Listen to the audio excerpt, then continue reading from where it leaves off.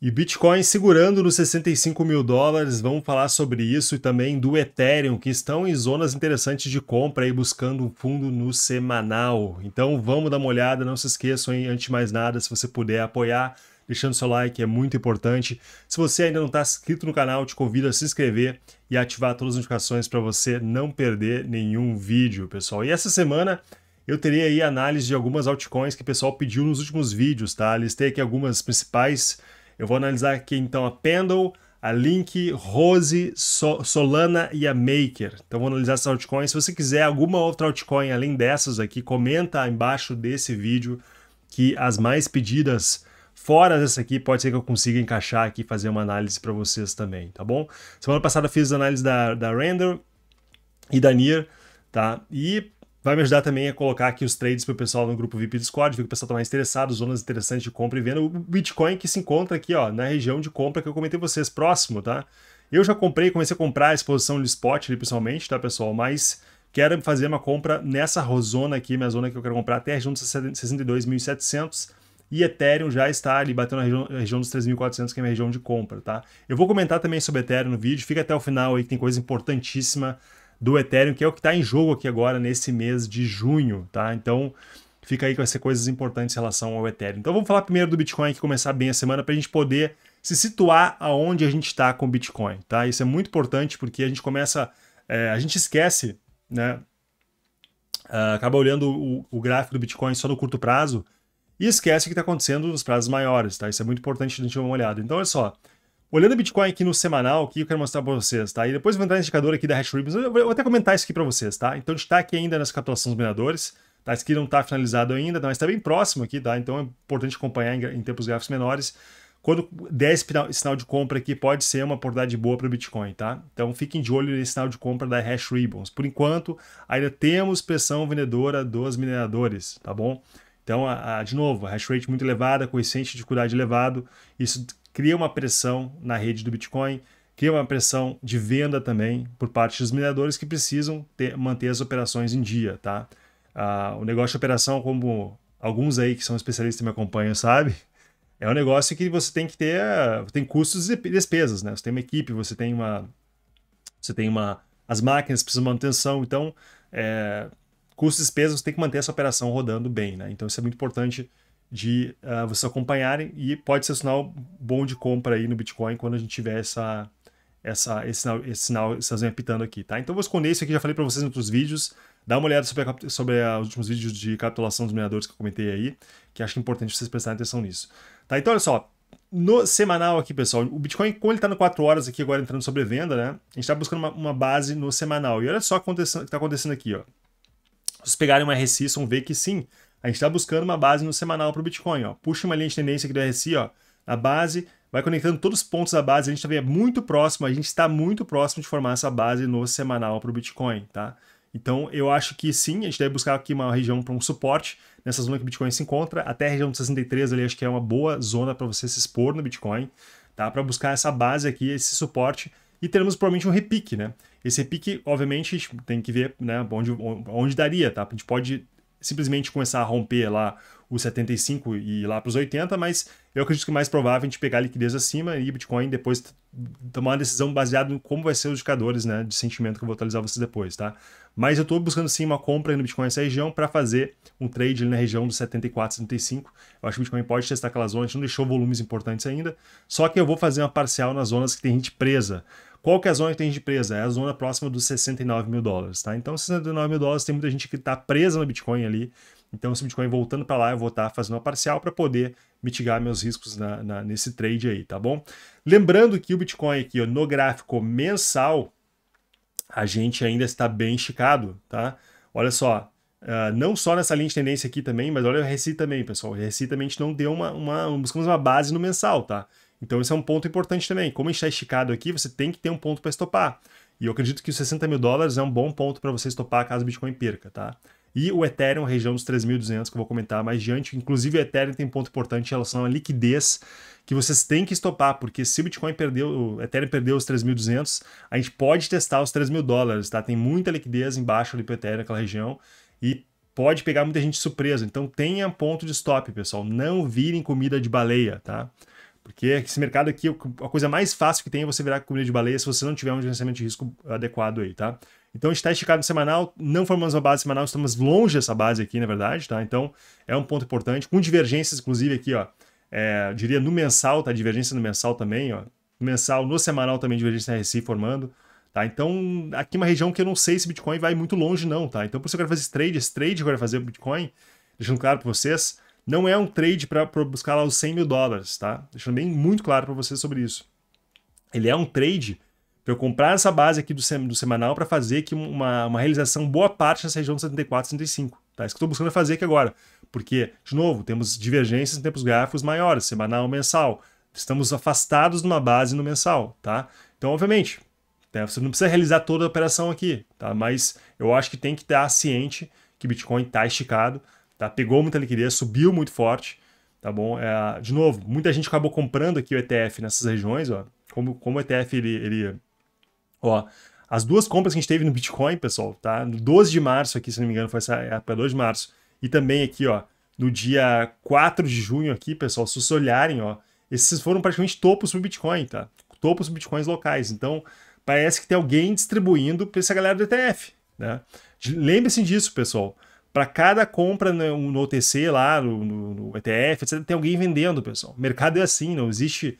Uh, entendeu? Ou então o Bitcoin estaria fazendo God, God Candle, ninguém vai vender mais, entendeu? O Bitcoin vai estar, tá, tá formando uma, né, uma coisa bizarra aqui no gráfico, tá? Mas não é o que está acontecendo, alguém está vendendo para esses caras, né? Então é isso. Então, essas pessoas que vendem, a tendência é elas querem fazer o quê? Comprarem mais abaixo, tá bom? Então, não fiquem aí uh, achando que o mercado é uma, uma grande maravilha, que agora é só compra, compra alta, alta. Gerencie o risco de vocês, porque é, tem sim uh, riscos grandes para o Bitcoin, tá bom? Mas, por enquanto aqui, né, vou fazer essa compra e vou avaliar quando o Bitcoin, se o Bitcoin testar ali os 69 mil dólares, tá? 69 mil dólares para cima, dependendo dos indicadores, eu posso uh, tomar uma decisão melhor. Mas, por enquanto, está safe aqui, por enquanto, ó, só no semanal a gente tem aqui um baita de, um, de uma, de uma um martelo nessa região aqui, pessoal, tá? Um martelinho muito interessante, com uma sombra grande, tá? E estamos próximo de testar essa região aqui, então para mim é uma zona de compra para o Bitcoin, tá? Eu tô, obviamente, esperando um volume maior ali para poder fazer uma compra legal, tá bom? Mas ele tá segurando por enquanto ali. E o Ethereum também tá no suporte bacana também, que eu vou comentar para vocês, tá? Então vamos baixar o tempo gráfico aqui rapidamente e vou entrar no detalhe aqui, falar sobre liquidez, tudo que for, for importante. Só antes de mais nada, pessoal, não deixem de me acompanhar no Instagram, tá? Eu vou deixar para vocês aqui embaixo também, do meu, na descrição do vídeo, o meu link do Instagram. Eu vou responder as perguntas do final de semana hoje, tá? Porque eu não tive tempo ontem, acabei que foi, foi um evento ontem no final do dia e acabei não conseguindo responder as perguntas, então vou pegar as perguntas de ontem e vou responder hoje, tá bom? Mas vou abrir caixinha de perguntas para vocês lá, então se vocês quiserem interagir comigo no Instagram, vá lá me acompanhar, André H. Fault, tá? Pra postar, até postar coisa mais coisa de mercado, tá? Porque vou parar de usar o Instagram para coisa pessoal, vou postar uma coisinha pessoal, outra, mais ideia, vou focar mais no mercado no Instagram. Então me acompanha lá e também se você não tá ainda com uma conta criada na PrimeSBT, que está apoiando meu canal, crie sua conta com o link aqui abaixo. Se você tem experiência no mercado futuros, é uma excelente corretora com taxas extremamente baratas, tá? Até 7 mil dólares de bônus de depósito para você que tem experiência aí com taxas extremamente baratas. Olha só as taxas aqui, pessoal. São as taxas mais baratas do mercado, tá? Uh, acho que está aparecendo aqui agora. Plataforma, tem a plataforma aqui, ó, plataforma de Crypto Futures, tá? Dá uma olhadinha aqui, ó. Tem, então, as taxas mais baratas aqui, ó, 0,01% de maker e taker, tá? Então, e 0,02 de taker, tá? Então, se você abre uma ordem limite lá, você ganha, você, você paga 0,01 e ordem mercado você paga 0,02. É muito barato também. Esse funding, funding geralmente é mais barato que, que as mais corretoras. Dá uma olhadinha aí se você tem experiência, que com certeza você vai gostar. E também tem muita criptomoeda para você operar aqui, tá? Então é, é bacana assim para quem tem experiência no mercado futuros. Não tem spot nessa corretora, tá bom? Deixando claro para vocês. Qualquer dúvida, estou à disposição também, pode mandar e-mail para mim, beleza? Então vamos lá. Vamos baixar o tempo gráfico aqui, a hora do Bitcoin, dar uma olhadinha que está acontecendo aqui, pessoal. Ah, é o seguinte, ó. O Bitcoin, por enquanto, deixou, né, puxando aqui o volume, a gente tem volumes importantes acima, tá? Então essa questão toda, a gente não deixou volumes aqui mais abaixo. Agora está formando um pouquinho de volume nessa região aqui, tá?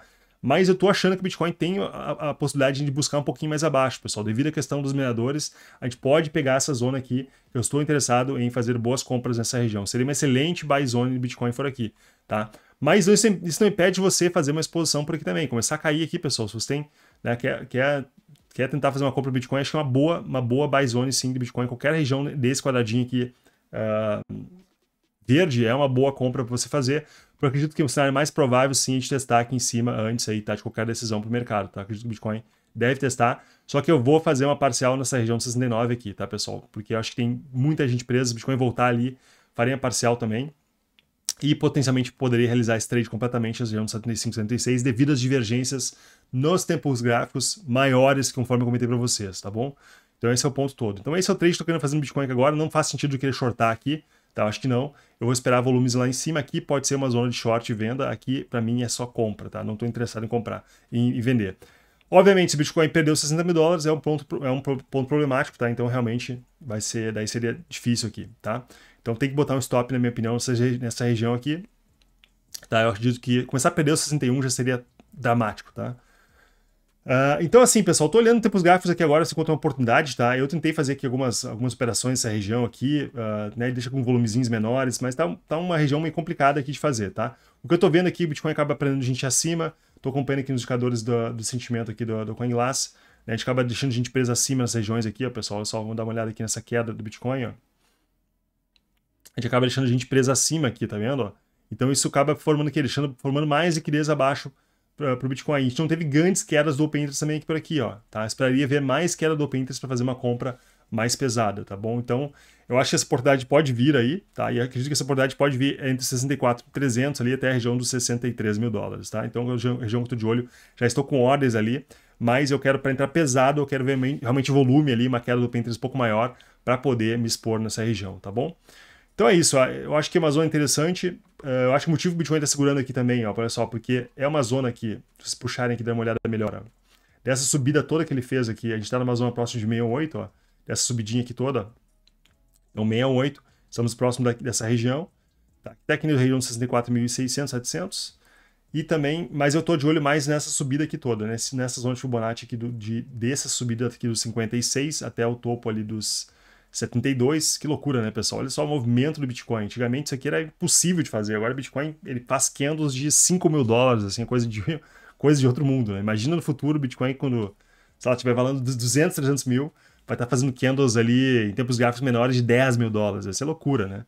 Então o mercado está recém começando, imagina só como vai ser no futuro. Então eu me lembro na época que o Bitcoin, quando fazia, ele subia é, 300 dólares, a gente ficava, nossa, meu Deus! Hoje em dia 300 dólares é nada, né? Ele se moveu aqui pouco tempo, aí questão de praticamente né, mil, dois mil dólares em pouco tempo o Bitcoin, tá? Então, antigamente, 100, 200 dólares era muita coisa. Eu me lembro dessa época aí, tá? Então, eu acho que são tempo, é, é épocas que vão ficar para trás aí cada vez mais com o Bitcoin, tá bom? Então, aqui, ó, nessa zona de 68 aqui seria toda essa subida aqui, tá? Então, para mim, a melhor compra possível seria próximo de 63 mil dólares, tá? Então, acho que ali é um bom risco retorno para o Bitcoin. É, o é a região que eu estou de olho para comprar. Temos liquidez também abaixo aqui também, pessoal. Vou dar uma olhadinha aqui nos 7 dias da Binance, aqui a gente pode dar uma olhadinha na liquidez nessa curto prazo, ó, tem uma liquidez nessa região aqui até a região de 64.300, tem boa liquidez, e a melhor zona que seria essa região de 62.700, tá? Tem uma zona bem amarelinha ali, tá bom? Só que a gente não sabe de onde vai ir, tá? Eu, eu vou olhar aqui realmente o volume, ver a queda no Open Interest e tentar achar a melhor compra nessa região aqui, tá? Por enquanto, tô com horas pequenas, tanto no spot quanto também no futuros para poder tentar aproveitar essa oportunidade que o Bitcoin pode dar aqui, tá? Então, o que eu estou fazendo aqui, mas botem as parciais em cima, porque vocês sabem que o mercado é, né? Não dá para ter certeza que o Bitcoin vai conseguir romper lá os 64. Então, é bom ter uma parcial para você mitigar o seu risco e não ficar preso aí, né? Acabar pagando um stop caro, tá? Essa é a minha ideia. Então, temos muita ordem nessa região aqui, pessoal. Deixa eu dar uma olhadinha aqui, quanto já é de ordem que tem essa zona para o Bitcoin aqui, ó. Deixa eu limpar um pouquinho esse gráfico. Então, muita ordem entrando, especialmente essa região aqui de 64 aqui, ó, mil dólares. Tá? Então, uma zona que eu estou interessado e para mim a melhor compra seria essa zona aqui dos 63. Ó, tá? A gente tem bastante imbalance aqui, seria uma compra linda para o Bitcoin se ele for lá deixar esse volume aqui, essa queda no Open Interest. Tá? Então, conforme eu comentei para vocês nos últimos vídeos, beleza?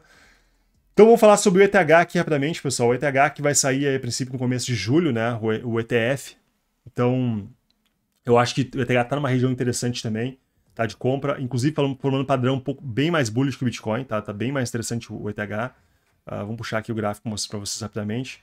Eu vou atualizar aqui os gráficos rapidamente aqui, o, aqui pra, na tela para facilitar o vídeo e já volto. Então, olhando aqui o TH, a gente pode ver que o Ethereum a gente tem o padrão, já formando aqui um padrão que eu considero bastante bullish nessa região aqui, pessoal. Tá um, seria uma, um, um, padrão aqui de megafone no fundo, que é um padrão que forma, geralmente, quando a gente tem um fundo, né? É um padrão bullish quando a gente forma aqui num fundinho. Tá? Então, para mim, seria um bom suporte essas, essas regiões aqui, essa, toda essa região aqui, pessoal, aqui embaixo, ó. Aqui o ETH já tá, ele é uma região interessante, ele tá, né? Ele já deixou um volumezinho bacana aqui, né? Então, eu acho que sim, o ETH tá numa zona interessante aí, tá? Para mim, tudo isso aqui é uma excelente buy zone aí no ETH, tá bom, tá bom pessoal? Onde já se encontra na minha, na minha região, já, na minha na concepção, já é uma buy zone, só que ele tem sim a possibilidade de ir mais abaixo devido à questão do Bitcoin aí, tá? Então acho que o Bitcoin pode puxar o ETH um pouquinho mais para baixo, tá bom? Mas eu acho que sim, uma oportunidade legal aqui no ETH se vocês puderem comprar por aqui, tá, pessoal? Acho que sim, uma zona que é interessante. Contudo, tem um risco do ETH que eu quero mostrar para vocês que acho muito importante, tá? Tem que ter o stop do ETH na região abaixo dos 13.200 dólares, tá bom? Por quê? Por que eu digo isso para vocês, pessoal? Porque é o seguinte, ó. O ETH formou muita liquidez aqui embaixo, ó, lá nos 3 mil dólares, ó. E você não quer comprar aqui para estopar lá embaixo ou ser liquidado lá embaixo, ó. Acho que muita gente pode acabar colocando seus stops aqui, ó, aqui nos 3 mil dólares, ó, e acabar virando comida de baleia, tá? Esse é o ponto todo. Então, na minha, na minha ideia aqui, tá bom? É a minha, a minha que eu tô fazendo aqui, eu tô fazendo para mim aqui. É, essas, toda essa zona aqui para mim é compra, tá? Conforme eu tenho comentado vocês aí. Só que tem que ter um stop abaixo dos 3.200 ali, pessoal. Tá 3.180 onde eu tô botando meu stop no ETH aqui, tá? Apesar de ser louco, ah, André, tem aqui onde, onde vão estar os suportes do ETH, onde vou estar botando stop, sim.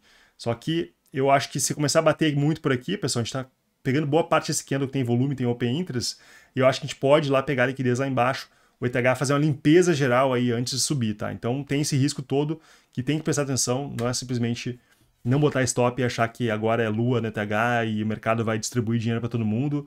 É, Bolsa Família do Ethereum, tá? Não existe Bolsa Família no mercado, pessoal, tá bom? Não existe dinheiro fácil aqui no mercado. Então é isso. Então gerencia seu risco no ETH, acho que sim, tá numa região interessante, mas tem que saber o risco lá dos 3 mil dólares e temos aqui, de novo, conforme eu vocês também, mostrei vocês também, ó, muita gente ficou presa em cima da TH aqui, ó, pessoal. Olha só o Open Interest que a gente tem aqui, ó. A gente tem muita gente que ficou presa em cima aqui, ó. A galera ficou abrindo contrato nessa região aqui, ó. Tá? Então o que acontece? Essa galera aqui que abriu aqui em cima, né, ficou achando que TH ia ser lua muito rápido, acabou ficando presa e vai o quê? Pode virar liquidez mais abaixo, tá? Então para mim, no máximo que a TH pode ir aqui é a região dos 3.300 por aqui, não pode perder a região dos 3.200, tá? Que eu acho que daí fica realmente complicado. A gente pode pegar lá embaixo os 3 mil dólares aqui, pegar liquidez aqui embaixo. Então, assim, tem que estopar antes e tentar. Daí, se estop, me estopar, tudo bem, né? Estopar, tudo bem, daí eu vou tentar comprar mais embaixo, fazer uma outra operação, tá bom? O problema é não quero né, acabar tendo risco de pagar um stop muito alto. Então, calcule o risco retorno de vocês para os trades que eu faço, geralmente é isso aqui, né? Eu vou, quero botar, fazer uma entrada, né? Eu tenho que ter uma parcial, né? Minha parcial ela é sagrada, tá, pessoal? Então vocês têm que botar aqui uma parcial de vocês. Eu quero comprar por aqui o ETH. Eu sei que 69 tem muita gente. 69 eh, não. Aqui no ETH é o valor dos.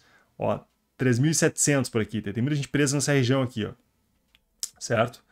Então 3.700 é meu ponto para fazer uma parcial, uma boa parcial, tá? Então você tem que botar o stop nos 3.200 aqui, por exemplo, ó. 390 você tem que buscar, buscar pelo menos um para um aqui, ó. Tá? Um para um seria essa região dos 3.400. Por isso que 3.400 é uma zona aqui, eu falei para vocês, é uma zona para se expor no ETH. Tá? Conforme eu fiz, falei para vocês, coloquei também na, na planilha do grupo, do, do, grupo trade, do grupo VIP. Então é uma região que tem, a gente tem um para um para fazer uma parcial, uma região que tem uma buy zone que considero já importante. Tá? Então quanto mais corrigir aqui, tá? maior o risco retorno para fazer uma parcial, para fazer um trade a favor das tendências do ETH. Tá? Só que tem que ter o stop abaixo de 3.200, na minha opinião, tá? É, eu, é o ponto que eu, tô, que eu tô avaliando de stopar, tá? Também porque tem ordens aqui no TH, a gente pode ver, a gente pode ver o seguinte, ó. A gente tem ordens aqui no TH até essa região, a região dos 3.290, aqui 3.300, ó. Então começar a perder isso aqui, pessoal, seria péssimo, tá? Perder 3.200, a gente pode ir lá embaixo, onde tem liquidez, tem balance, então tem esse risco para o ETH, você tem que estar ciente disso, tá bom? Não estou aqui só para dizer para vocês maravilhas do, do mercado, que vocês vão ganhar dinheiro fácil, compre meu curso, não. Tá? Não é objetivo aqui do canal, vocês sabem disso, tá bom? Então vamos lá, vamos acompanhar também o DXY na semana, vou atualizando vocês aí, o DXY está subindo, esse é um outro risco também para o mercado cripto, tá? É bom acompanhar o DXY porque está com risco de fazer aqui essa continuação de alta, tá bom? Então tem que ter, gerenciar o risco, pessoal. Não é simplesmente comprar e achar que vai ganhar dinheiro fácil no mercado, tá? Então tem um risco sim, estou ciente disso, comprando com os stops colocados aí, conforme eu tenho comentado vocês nos últimos vídeos, tá bom? Então é isso, no mais é isso, vou dar uma olhadinha nas altcoins que vocês pediram essa semana, comente embaixo para mim quais são as altcoins que vocês querem que eu olhe essa semana aí, que eu vou olhar o máximo possível para a gente poder tentar fazer uma, uma, se expor legal aí. E tente participar também do grupo VIP do Discord, tá? Tá ficando bem bacana lá. Vai ter novidades também essa semana aí. Um abraço, tchau, tchau. mix of humans and see what happens. And I think we're going to see war and violence weeded out of the situation. We're, we're heading to a very loving and peaceful future. And we're going about to let, plant our flag on monetization of the global unconscious on the base layer of love with Bitcoin.